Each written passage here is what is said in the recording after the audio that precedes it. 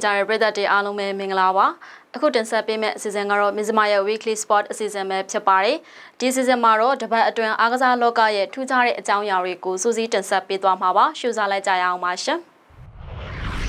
သွင်းကို35ကိုနဲ့အတူ Sorry Pro League ပြိုင်ပွဲသမိုင်းတလျှောက်တရားသည့်အတွင်းမှာလိကိုအများဆုံးသွင်းယူနိုင်ခဲ့တဲ့အားကစားသမားအဖြစ် Ronaldo ကစံချိန်သက်တင်ခဲ့ပါတယ်။ Cristiano Ronaldo ဟာ LED Hut နဲ့ပွဲမှာ El Nassr အတွက်2ဂိုးသွင်းနိုင်ခဲ့ပါတယ်။အသက်39နှစ်အရွယ်ရှိတဲ့ Ronaldo အနေနဲ့2018-2019ရာသီက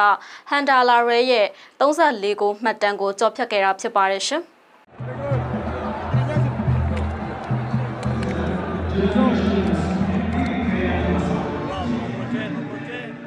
Cristiano Ronaldo ဟာ LED Head နဲ့ပွဲမှာ El Nassr အတွက်ငကိုးသွင်းယူခဲ့ပြီးနောက်ပိုင်းစုစုပေါင်းသွင်းကို35ခုနဲ့ Saudi Pro League ပြိုင်ပွဲသမိုင်းတလျှောက်တရားသည့်အတွင်းမှာလစ်ကိုအများဆုံးသွင်းယူနိုင်ခဲ့တဲ့ကစားသမားအဖြစ်စံချိန်သစ်တင်ခဲ့ပါတယ်။လစ်ရာသီအပိတ်ပွဲစဉ်မှာ El Nassr က LED Head ကို၄ဂိုး2ဂိုးနဲ့အနိုင်ရရှိခဲ့တာပါ။ အသက်36နှစ်အရွယ်ရိုနယ်ဒိုအနေနဲ့2018-19ရာသီကဟမ်ဒါလာရဲ့34ဂိုးမှတ်တမ်းကိုကျော်ဖြတ်နိုင်ခဲ့တာဖြစ်ပါတယ်။ကျွန်တော်ကစံချိန်တွေနှောက်လိုက်နေတာမဟုတ်ပါဘူး။စံချိန်မှတ်တမ်းတွေကကျွန်တော်နောက်ကိုလိုက်နေတာပါလို့ပေါ်တူဂီတိုက်စစ်မှုကစံချိန်တစ်တင်အပြီးမှာ X ပေါ်မှာရှိတင်ခဲ့ပါတယ်။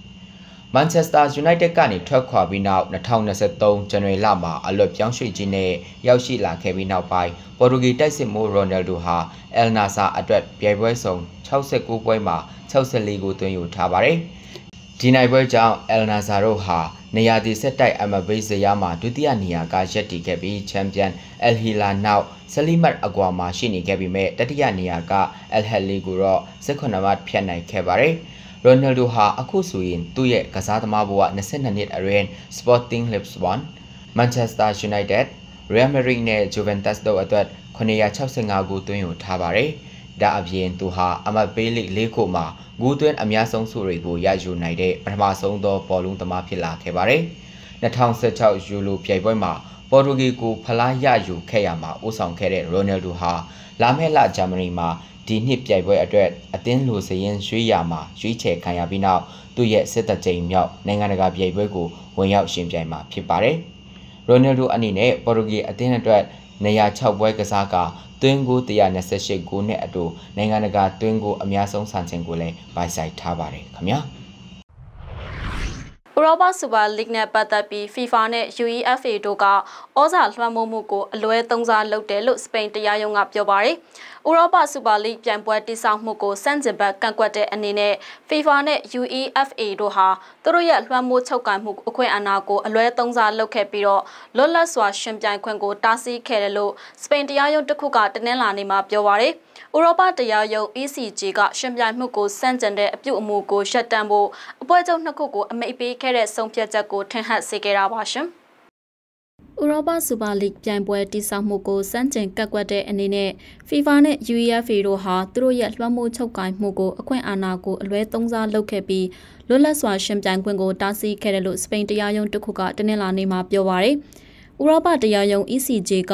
ရှင်ပြိုင်မှုကိုစန့်ကျင်တဲ့အပြုမှုကိုရပ်တန့်ဖို့အဖွဲ့ချုပ်နှစ်ခုကိုအမိန့်ပေးခဲ့တဲ့အစောပိုင်းဆုံးဖြတ်ချက်ကိုထင်ဟပ်စေခဲ့တာပါ။ Super League စီဇန်သူတွေကတရားစွဲဆိုတာမှာ FIFA နဲ့ UEFA တို့ဟာဈေးကွက်အတွင်းလွတ်လပ်စွာရှင်ပြိုင်မှုအပေါ်တရားမျှတမှုမရှိဘဲအချိုးမညီတဲ့ကန့်သက်ချက်တွေချမှတ်ခဲ့ကြောင်းတရားရုံးကပြောပါရယ်။ ဥရောပမှာရှိတဲ့တခြားသောကလပ်အသင်းကြီးအများစုကဆွတ်လွှတ်ခဲ့တဲ့ဒီ project ကို Real Madrid နဲ့ Barcelona တို့ကအခိုင်အမာထောက်ခံတဲ့အသင်းတွေဖြစ်ပါတယ်။ဒါပေမဲ့ပြဿနာစတင်ပေါ်ပေါက်လာခဲ့တဲ့နောက်ပိုင်းဂျားပြတ်ကာလမှာပြန်လည်ပြင်ဆင်ထားခဲ့တဲ့စီးမြင့်တွေနဲ့ပတ်သက်တာကြောင့်တရားရုံးရဲ့အဆုံးဖြတ်ချက်ဟာအကန့်အသတ်နဲ့တက်ရောက်မှုရှိနိုင်ပါတယ်။အတန်း၃တန်းခွဲခြားပြီးတော့တန်းတက်တန်းစင်တဲ့ကလပ်အသင်း80ပါဝင်တဲ့ project ကိုပုံဖော်ဖို့တည်ထောင်ထားတဲ့ A22 Sport Management ကဒီအမှုကို Madrid ကုသန်းရောင်းဝယ်ရေးတရားရုံးစီတင်သွင်းခဲ့တာပါ။ဥရောပသမဂ္ဂတရားရုံး ECJ က2023ဒီဇင်ဘာလမှာဆုံးဖြတ်ချက်ချပြီးတဲ့နောက်ပိုင်း A22 ဟာလည်းပုံမအားကောင်းလာခဲ့ပါတယ်။စူပါလိကိုတာမြတ်တာဟာဥရောပဥပဒေနဲ့စန့်ကျင်တယ်လို့လည်းဆုံးဖြတ်ချက်မှာဆိုထားပြီးတော့ပြိုင်ပွဲသက်တွေကိုခွင့်ပြုဖို့နဲ့ခွင့်မပြုဖို့တိကျတဲ့စံနှုန်းတွေ UEFA မှာမရှိဘူးလို့တွေ့ရှိခဲ့ပါတယ်။ဒ တနည်းအားဖြင့်အနာဂတ်မှာတခြား project တွေကိုတားမြစ်ဖို့မူအရ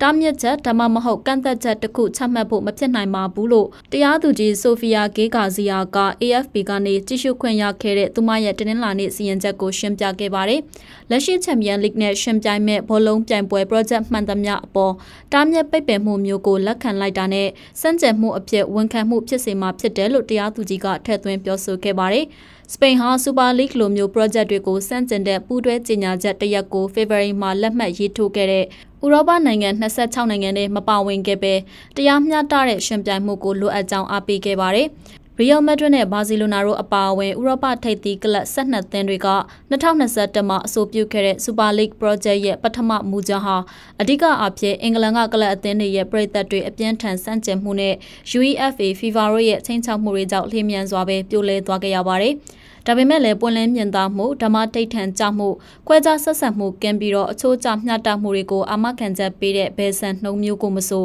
ဒီအဖွဲ့ချုပ်နှစ်ခုရဲ့လုံပိုင်ခွင့်အာဏာတွေကိုချုပ်ကင်တာခွင့်မရှိကြောင်း ECJ ကဆုံးဖြတ်ပြီးတဲ့နောက်အဲ့ဒီစီမံကိန်းကိုအခုစောင်းရသည်မှာပြန်လည်စတင်ခဲ့တာဖြစ်ပါတယ်။အဲ့ဒီချိန်ကစလို့ UEFA ဟာ2022ဇွန်လမှာချမှတ်ခဲ့တဲ့ပိုပြီးအသေးစိတ်ကြတဲ့စီမံသစ်တွေနဲ့ဒီအားနည်းချက်ကိုပြင်ဆင်ခဲ့ပါတယ်။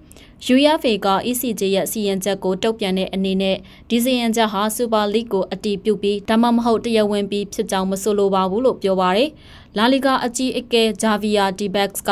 စီရင်ချက်ဟာအတီးမပြုတ်နိုင်သလိုဒါဟာတိတာထင်ရှားတဲ့ပြောင်းလဲမှုကိုလည်းမသက်ရောက်ဘူးလို့ Super League Project ကိုပြက်ပြက်သားသားစန့်ကျင်ခဲ့ပါရရှင်။ကက်တလန်ဘလူးဂျီတွေဟာဒီယာတီဖလားလက်မဲ့ဖြစ်ခဲ့ပေမဲ့ဇာဗီဟာနန်ဒက်စ်အနေနဲ့နီးပြရာတူမှာဆက်ရှိနေဖို့ကလပ်ဥက္ကဋ္ဌဂျုံလာပေါ်တာနဲ့သဘောတူညီခဲ့ပြီးနောက်ပိုင်းတရင်ဘတ်အနေငယ်အကြောင်းမှာဘာစီလိုနာဟာဇာဗီကိုထုတ်ပေးခဲ့ပါတယ်။ ထွက်ခွာမသွားခင်ဇာဗီဟာတနင်္ဂနွေနေ့မှာဇာဗီလာနဲ့ကစားမဲ့အသင်းရဲ့နောက်ဆုံးလာလီဂါပွဲစဉ်ကိုကင်တွယ်မှာဖြစ်ပါတယ်။ဇာဗီဟာနန်ဒက်ဟာ2024-2025ရာသီအတွက်နီးပြအဖြစ်ဆက်ရှိနေမှာမဟုတ်တော့ဘူးလို့ဘာစီလိုနာဥက္ကဋ္ဌဂျိုအန်လာပေါ်တာကဇာဗီဆိုကိုဆက်သွယ်အကြောင်းကြားခဲ့ပါတယ်ရှင်။ကက်တလန်ဘလူးကြီးတွေဟာဒီယာဒီဖလားလက်မဲ့ဖြစ်ခဲ့ပေမဲ့ ဇာဗီဟန်နာဒက်စ်အနေနဲ့နေပြရာထိုးမှာဆက်ရှိနေဖို့ကလပ်ဥက္ကဋ္ဌဂျုံလာပေါ်ရာနဲ့သဘောတူညီမှုရရှိခဲ့ပြီးနောက်ပိုင်းတရင်ပတ်အနည်းငယ်ကြာမှာပဲဘာစီလိုနာဟာဇာဗီကိုထုတ်ပယ်ခဲ့ပါတယ်။ထွက်ခွာမသွားခင်ဇာဗီဟာတနင်္ဂနွေနေ့မှာစီဗီလာနဲ့ကစားမဲ့အသင်းရဲ့နောက်ဆုံးလာလီဂါပွဲစဉ်ကိုဂိုက်တွဲမှာဖြစ်ပါတယ်။ ဇာဗီဟန်နန်ဒက်စ်ဟာ2024-25ရာသီအတွက်နီးပြအဖြစ်ဆက်ရှိနေမှာမဟုတ်တော့ပါဘူးလို့ဒီအကြောင်းကိုဘာစီလိုနာဥက္ကဋ္ဌဂျူအန်လာဘော်ရာကသူ့စီဆက်သွယ်အကြောင်းကြားခဲ့ပါတယ်။ဘိုင်ယန်မြူနစ်နဲ့ဂျာမနီနေပြဟောင်းဟန်စီဖလစ်ဟာဇာဗီနီယာကိုအစားထိုးဝင်ရောက်လာပြီဆိုတဲ့သတင်းတွေလည်းထွက်နေပါတယ်။ ရှာဒီကုံမှာထွက်ခွာမယ်လို့ဇာဗီကဂျန်နယ်လာမှာပြောကြားခဲ့ပေမဲ့အသင်းကပုံစံကောင်းပြန်လဲပြသလာခဲ့ပြီးနောက်မှာလာမယ့်ရှာဒီမှာနေပြအဖြစ်ဆက်ရှိသွားဖို့သူနဲ့ဥက္ကဋ္ဌလာဘော်ရာတို့အေဗီလာမှာသဘောတူညီခဲ့ကြပြီးသူ့ရဲ့စာချုပ်ဟာ2025ဇွန်လမှာကုန်ဆုံးမှာဖြစ်ပါတယ်။ဒါပေမဲ့ Real Madrid နဲ့တခြားဥရောပထိပ်သီးအသင်းတွေနဲ့ရှင်ပြိုင်ဖို့ငွေကြီးကျပ်သိမ်းနေတဲ့ကလပ်အတွက် ခက်ခဲတယ်ဆိုတဲ့ဇာဗီရဲ့မှတ်ချက်တွေကြောင့်လာဘော်ဒါဟာဒေါသထွက်ခဲ့ပြီးအခြေအနေဟာအလျင်အမြန်ပြောင်းလဲခဲ့တယ်လို့စပိန်မီဒီယာတွေကဖော်ပြခဲ့ပါတယ်ခင်ဗျာ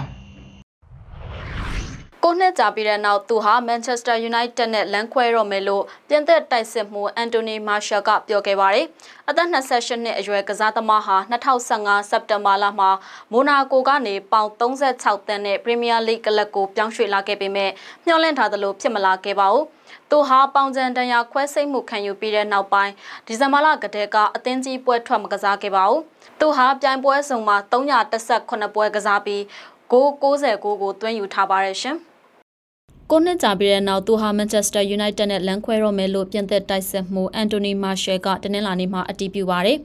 ဒီနေ့နှုတ်ဆက်စကားကိုကျွန်တော်စိတ်ခံစားချက်များစွာနဲ့ရေးလိုက်ပါတယ်။ကလပ်မှာအံဖွယ်ရာ9နှစ်ကြာနေထိုင်ခဲ့တဲ့နောက်မှာတော့ကျွန်တော်ရဲ့ကစားသမားဘဝဆမျက်နှာတစ်ကိုဖွင့်လှစ်ရမယ့်အချိန်ကြာရောက်လာပါပြီလို့ Martial က Instagram မှာပြောပါတယ်။ အသက်28နှစ်အရွယ်ကစားသမားဟာ2015စက်တင်ဘာလမှာမိုနာကိုကနေပေါင်36တန်းဒေါ်လာ45.6သန်းနဲ့ပရီးမီးယားလိဂ်ကလပ်ကိုပြောင်းရွှေ့လာခဲ့ပေမဲ့မျှော်လင့်ထားသလိုဖြစ်မလာခဲ့ပါဘူး။သူဟာပေါင်ချန်တရားခွဲစိတ်မှုခံယူပြီးတဲ့နောက်ဒီဇင်ဘာလကတည်းကအသင်းကြီးပွဲထွက်မကစားခဲ့ပါဘူး။အင်္ဂလန်မှာရှိတဲ့အချိန်အတွင်းမှာလည်းမာရှယ်ဟာ FA ဖလား League ဖလား Europa League ဖလားတွေကိုစုခူးခဲ့ပေမဲ့ Premier League နဲ့ Champion League ဖလားတို့ကိုတော့မရခဲ့ပါဘူး။ သူဟာပြိုင်ပွဲစုံမှာ318ပွဲကစားခဲ့ပြီးတော့ဂိုး90ကိုသွင်းယူထားပါတယ်။ Manchester United ဟာကျွန်တော်ရဲ့နှလုံးသားထဲမှာအမြဲရှိနေမှာပါ။ဒီကလပ်ကကျွန်တော်ရဲ့ကစားသမားဘဝကိုတက်ရောက်မှုရှိခဲ့ပြီးခမားတို့ရဲ့ရှေ့မှာကစားခွင့်ရမယ့်မယုံနိုင်လောက်စရာအခွင့်အရေးတစ်ခုကျွန်တော်ကိုပေးခဲ့တယ်လို့2022ကစီဗီလာမှာအငှားသွားရောက်ကစားခဲ့တဲ့မာရှယ်ကပြောခဲ့ပါတယ်။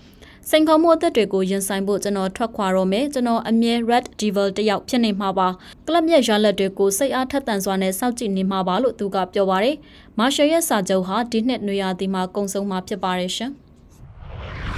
ထိုင်းနိုင်ငံမှာလူထုအကြားပုံရိပ်ညှက်တင်နိုင်ဖို့ရည်ရွယ်ပြီးထိုင်းရဲတပ်ဖွဲ့ကမေလ28ရက်နေ့မှာရက်ဆက်ကျန်းကျုပ်တဲ့ကိုခံပညာပြိုင်ပွဲတစ်ခုကျင်းပခဲ့ပါတယ် ပြိုင်ပွဲမှာကာကယံဝတ်ဆင်ထားတဲ့ထိုင်းရဲနှစ်ယောက်ကတယောက်နဲ့တယောက်အလွန်ပြင်းထန်တဲ့ညာဝိုက်လက်သီးတွေကိုပြစ်သွင်းတာနပန်းလုံးနာနဲ့ပြင်းထန်တဲ့ခြေကန်ချက်တွေကိုထုတ်သုံးခြင်းတွေနဲ့ရှင်ပြိုင်ထိုးသက်ကြပါတယ်။ထိုင်းတော်ဝင်ရဲတပ်ဖွဲ့အပေါ်ပြည်သူလူထုရဲ့10ရာခိုင်နှုန်းကျော်သက်တာကပဲယုံကြည်မှုရှိတယ်လို့မကြသေးခင်ကလူထုစစ်တမ်းတစ်ခုမှဖော်ပြပြီးတဲ့နောက်ဘန်ကောက်မှာရှိတဲ့ရာဂျာဒန်နမ်ကစားကွက်မှာအဲဒီကိုခံပညာပြိုင်ပွဲတွေပေါ်ပေါက်လာတာပဲဖြစ်ပါတယ်ရှင်။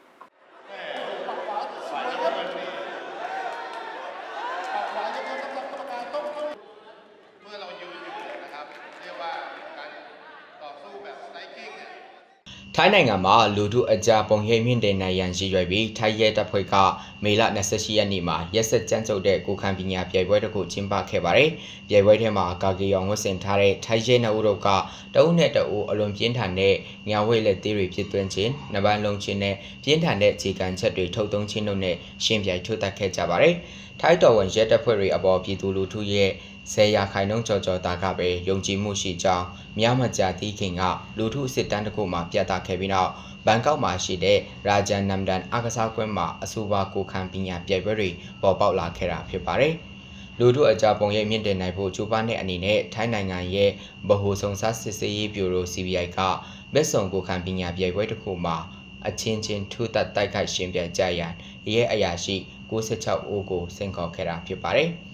ထိုင်းနိုင်ငံဟာရွရ kickboxing မွေထိုင်းအားကစားနည်းနဲ့နာမည်ကျော်ကြားလူသိများခဲ့တာဖြစ်ပြီးတော့အဲ့ဒီအားကစားနည်းထဲမှာပြိုင်ပွဲထူးသက်သူတွေကပြိုင်ဘက်ကိုအနိုင်ယူဖို့လက်သီးကစားပြီးတော့တန်းတောင်ငုတ်တကြီးနဲ့ဒူးတွေအုံပြုတ်ကထူးသက်တိုက်ခိုက်ခဲ့ကြပါတယ်အခုလိုရဲတပ်ဖွဲ့တိုက်ခိုက်ထူးသက်မှု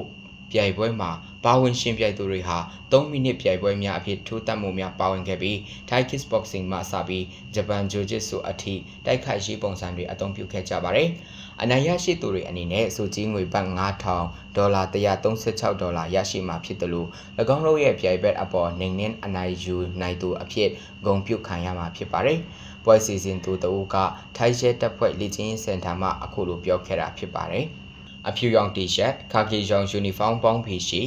ဦးကောင်းအကာကွယ်တို့ဝတ်ဆင်ထားတဲ့ရဲနှအုပ်ဟာအနီနဲ့အပြာနေရမေးတွေအောက်မှစင်ပေါ်တော့တက်လာခဲ့ကြပါတယ်။ပြိုင်ပွဲမရှင်ပြိုင်ခင်တဦးနဲ့တဦးရင်ကြီးစွာအိုးညွတ်ပြုံးပြခဲ့ကြပြီးမဲ့ပွဲစားတိုင်းအချက်ပေးခေါင်းလောင်းထူတာနဲ့တပြိုင်တည်းနှအုပ်သားဟာလက်သီးထူးချက်တွေနဲ့ခြေကန်ချက်တွေတရဇက်ပြည့်သွင်းထူတိုက်ရှင်ပြိုင်ခဲ့ကြပါတော့တယ်။စစ်စင်5ကီလိုတန်ပွဲစဉ်တကူမှာ ပြိုင်ဘက်ကိုရှုံးနှင်းခဲ့တဲ့ရဲတအုပ်ကအခုပြိုင်ပွဲအတွေ့အကြုံကသူကမကြာခဏဆိုသလိုမသိမ်းခါခွဲပြစ်မှုကျူးလွန်သူတွေနဲ့ထိတ်တိုက်ရင်ဆိုင်ရတဲ့အချိန်လိုမျိုးသူ့ရဲ့နေ့စဉ်အလုပ်ကိုတရိယာစေတယ်လို့ပြောပါတယ်ကျွန်တော်အလုပ်တာဝန်ချိန်မှာဆိုရင်ကျွန်တော်ကတန်တရားရှိသူနဲ့ပထမဆုံးထိတွေ့ရသူဖြစ်တယ်။တခါတရံဆိုသူတို့ကဖားနာကိုခုခံကြပါတယ်လို့၎င်းက AFP ကိုပြောပါတယ်။ပြိုင်ပွဲမှာအနိုင်မရခဲ့ပေမဲ့လည်းအတွေ့အကြုံကောင်းတစ်ခုရရှိခဲ့တယ်လို့သူကပြောပါတယ်။ ပြည်သူလူထုအနေနဲ့ထိုင်းရဲတပ်ဖွဲ့တွေအပေါ်ဆက်လက်ယုံကြည်အားကိုးတင်ကြောင်းလှုပ်ဖော်ကိုင်ဖက်တွေပြိုင်ပွဲထိုးတက်တာကိုလာရောက်ကြည့်ရှုသူတို့ကပြောပါတယ်